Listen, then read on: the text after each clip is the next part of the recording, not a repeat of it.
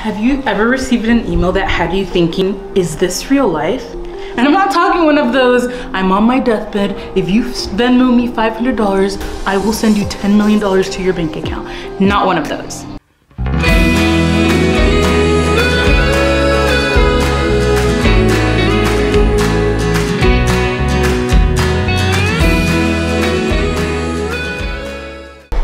Email was about an opportunity for us to have our own reality TV show. Today we're finally sharing from start to end everything that happened from that email all the way to shooting the sizzle reel episode.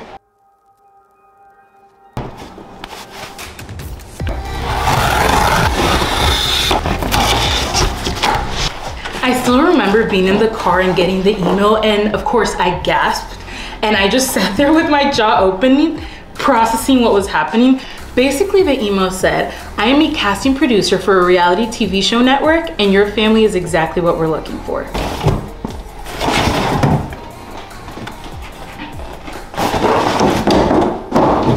That's Josh's problem. Seriously, I'm driving and she gasps. I'm doing everything in my power not to swerve off the road because I think something terrible has happened. Why do women do that? Side note, if you're wondering what we're doing, I've been wanting one of these since we had three kids and we now have five kids. So I'm actually very excited to get my hands on this. Dude, this thing's huge.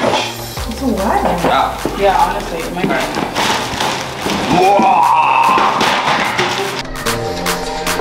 Look, let's see. What is that? Oh.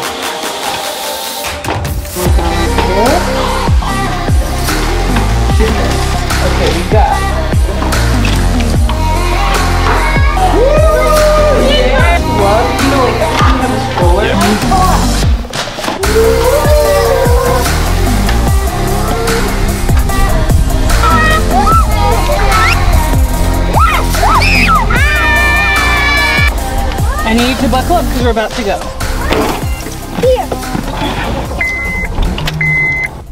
All right, so over the next couple weeks, we scheduled several Zoom calls where we had interviews with the producers and then a final big Zoom call where they even asked to interview our extended family.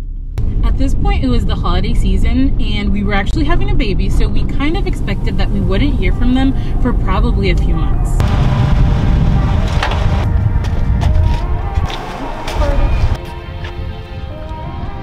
That's exactly what happened. A few months passed, we didn't hear any word, and we honestly thought that there was no opportunity. I didn't mind it so much because I think it was a good opportunity to open our eyes to all the possibilities and that opportunity comes knocking if you're willing to put yourself out there. After a few months, we finally heard back from the casting agency, and they told us if we hadn't heard from the network yet, that probably means they went a different direction. We will forever be grateful that we got approached about this opportunity because it truly opened our mind to having our own TV show on YouTube. So we put our heads together and we came up with the idea to create our own docu-series around traveling the US.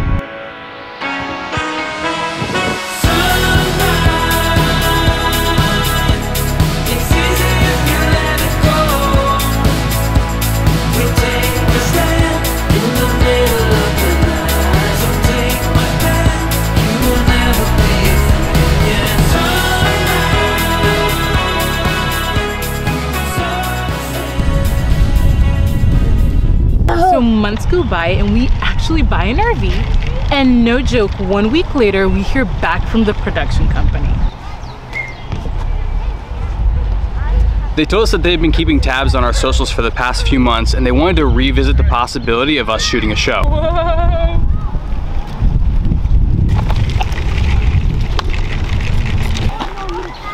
you would think that we're excited about this opportunity, but honestly, it just kind of stressed us out because we had moved on from this opportunity and now it was back in our lap after we purchased an RV to go traveling.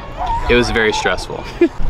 so later that week, we jump on a call and they tell us they want to move to the next stage immediately we were super excited, but we also were like, what does the next stage mean? Because we had no idea. we had no idea what that meant. So I sent a follow-up email to clarify what exactly does the next stage mean. And it basically just meant that we were gonna jump on several Zoom calls with the production team to figure out the direction of the show. Essentially, we were gonna start shooting a show. It didn't mean that we were getting it, but we were starting the process.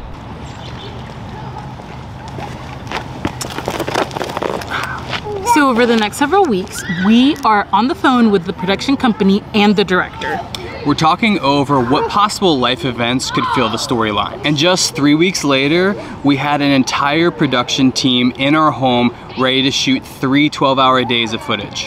It was a lot. We were so tired. I think getting to experience the behind the scenes of a TV show really opened our eyes to how much work it is. It was truly exhausting. How did you feel about it? Oh my goodness.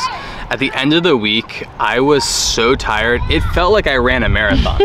I think that it was a little hard for me. The only thing that um, was a challenge was when I would say a line naturally and they would ask me to repeat it, it just felt a little bit more forced afterward, even though I had naturally said that. Because they had multiple cameras, sometimes one of them, they didn't have the right lighting or the right angle. So we would say, like, I might be like, babe, you forgot to put sugar in my coffee. And they'd be like, oh no, I missed that. And they'd be like, can you say that again? So I'd have to repeat it. So it's not like the lines were rehearsed, it's more like we said them and we had to say them again. And then it just felt a little different. But I mean, it was still an authentic interaction. For sure. It was just a little bit more rehearsed the second time. I think it was really cool also to see how the crews actually interact with the family. At least in our case, the crew was very kind and generous with our kids and with us. And yeah, we, we really enjoyed getting to know them. We truly enjoyed their time with them, yeah.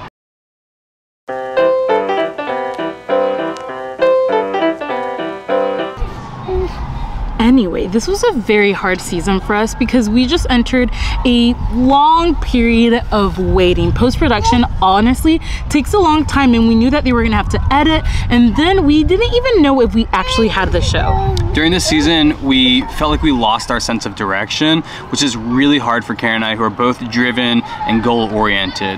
We took some time to slow down. We did some vacation locally to recoup and then we regrouped and planned out what 2023 would look like. This was probably our most stressful point of the year because we could feel that we were both very stressed about the unknown, which is not a place that we're very comfortable.